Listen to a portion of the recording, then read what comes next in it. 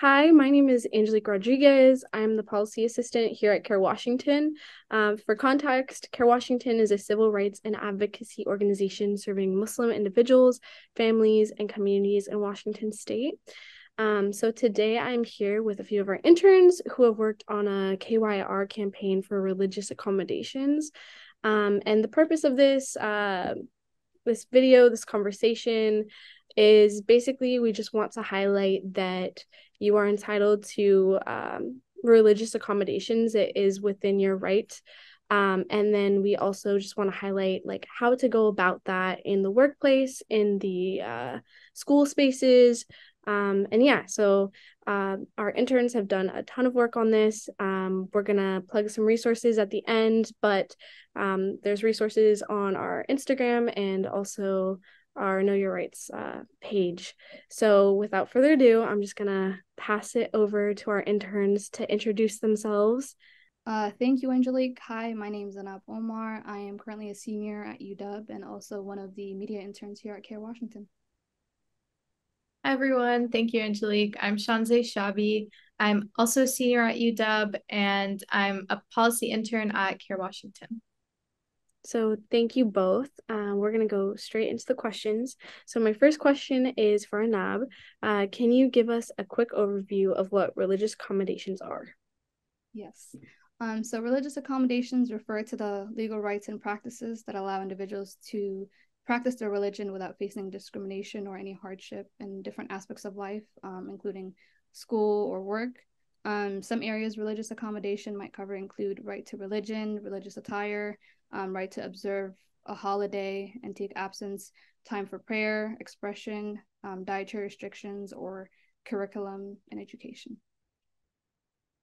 Thank you so much, Anab. Um, so the second question is, why does this matter? Um, and I'll give this to Shanzay. Yeah, I think religious accommodations are just an essential component of um, the right to religious freedom. I think people should have the right to practice their faith without facing any discrimination or obstacles in various aspects of their lives. Um, and this can include employment, education, or public services. So I think, you know, religious accommodations being embedded within, um, you know, legal writing, within law um, and policy is for those obstacles and um, chances of discrimination to essentially be diminished for people. Thank you. Um, one follow up question that I have is Do you have any stories or examples of times that uh, religious accommodations were needed? Yeah, so I think um, just in my personal experience as a Muslim college student, religious accommodations have just been really necessary when it comes to creating a comfortable and inclusive educational environment, um, one that balances the practice of my faith and my studies. One example of this is during Ramadan, for example. Um, I request my professors to either record my lectures or post the slides on um, Canvas just in case I'm not able to attend class because I'm, you know, tired from um, like waking up really early for suhoor or whatever it may be. Um, so I think that has really helped me in being able to maintain like my grades and um, just doing good in my classes um, without compromising my faith. For sure, for sure. Thank you. Thank you. Um, that kind of leads to our next question, which is what do religious accommodations look like in the workplace in Washington? Um, and I'll give Anab that. Mm-hmm.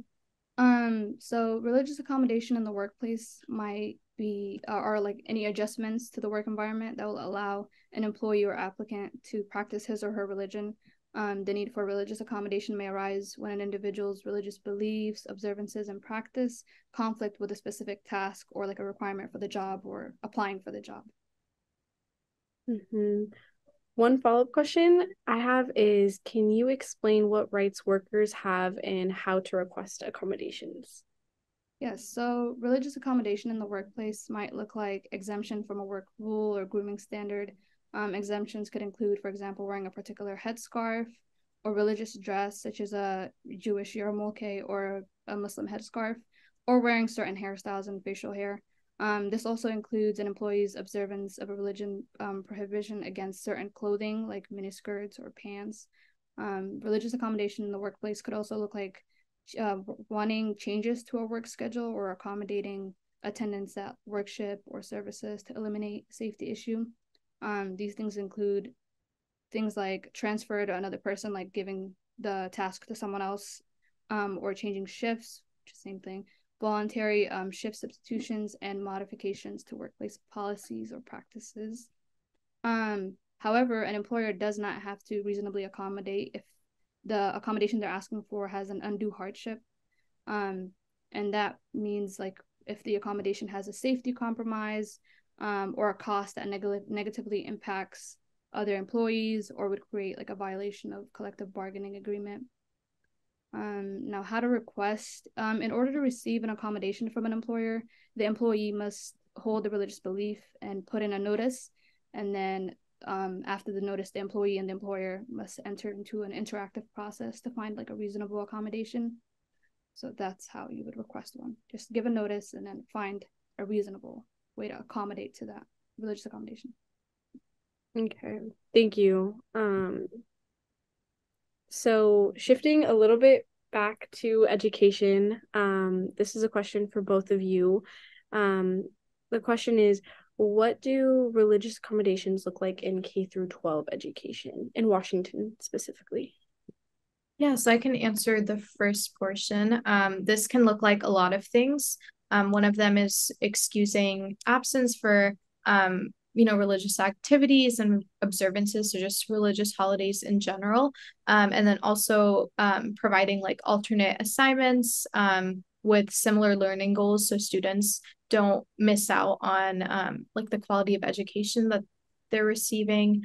And then also, um, Anab mentioned this earlier for uh, workplace accommodations, but just waiving dress codes or school uniforms that interfere with a student's religious beliefs. Uh, so this can involve waiving a rule uh, to allow a student to wear a head covering, um, or you know if a school uniform requires like mini skirts or something like that, just waiving that for the student. Um, and then yeah, religious holidays, just, that's one of the main ones, just allowing students um, to honor those religious practices. Um, but yeah. Okay, thank you. Um, and then a follow-up question is like, can you explain what rights students and families have and how to request accommodations? Um, Shanzay, you kind of went over it. Um, you touched on it, but maybe the re- request accommodations part for Anab, if you could go mm-hmm. into that. I can, yeah, I can answer how to request for an accommodation. Requests should be submitted in advance to allow school to make appropriate arrangements and scheduling adjustments. And if the request for an excused absence for a religious event, that request must be made in accordance with the school's attendance procedure. Um, and so the accommodation request must include the specific accommodation requested that you're asking for, um, why the accommodation is needed, the amount of time, duration, and frequency that you might need that accommodation for. Thank you. Thank you. Um, and then one other question we have still on the still going with education um, is particularly because you both are students at UW. Um, what do religious accommodations look like in colleges and universities in Washington? Um, can you explain what rights students have and how to request accommodations? I'll give this to Shanzay. Yeah, so um, colleges and universities in Washington are required to develop policies to accommodate student absences, um, you know, for the purpose of one's religious beliefs. It also requires faculty to reasonably accommodate um, student observation of religious beliefs, holidays, which includes rescheduling exams um, or activities or offering different times um, for those exams or uh, class activities to again make sure that the students' grades are not impacted. Um, and then universities and colleges in Washington are also required to provide notice to students of their religious um, accommodation policy by either by both publishing the policy on their website and also including um, the policy itself or a link to it in the course or program syllabi. Um, that way, making sure that it's as visible to students as possible. Um, and then any student that is seeking to request religious accommodations um, in a college or university in Washington must provide a written notice to faculty within the first two weeks of beginning the course. Um, and then the religious accommodations typically uh, include the specific dates that you're requesting accommodations for um, in terms of, you know, the exams you want to reschedule or the activities that you want to reschedule. And then it's also important to make sure you're referring back to your specific school's religious accommodation policies and making sure that um, the request that you're submitting is in line with the procedure that they already have. Perfect. Thank you so much. Um, my last question for you both is Is there anything else you think people should know about their rights to religious accommodations? Yeah, I think one thing to keep in mind, just based on my own personal experience, it's always better to be proactive about requesting your accommodations, making sure you're um, doing them in advance. If you're requesting them from your school, for example, just make sure you know what the procedure looks like well in advance of the actual date that you'll be requesting accommodations for. Because um, oftentimes, uh, students' needs aren't fulfilled in that area because they wait too long or they aren't sure what the procedure looks like. Um, so yeah, just make sure you're uh, getting that information ahead of time. Thank you so much. Um, that, those were the end of our questions.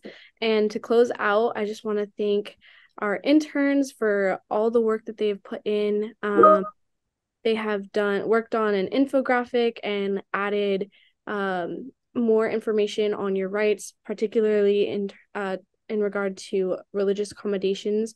So if you have more questions, be sure to go to our Instagram, CAIR Washington, because we have an infographic there. And then be sure to check out our Know Your Rights, uh, knowyourrightswa.com. Um, we are constantly trying to update information there, and this can um, show you kind of some of not just religious accommodations, but um, in immigration and in all sorts of other um, areas as to what rights are are what what your rights are. Um, so thank you both for all your work, and with that, I will close this out. Thank you. Thank you.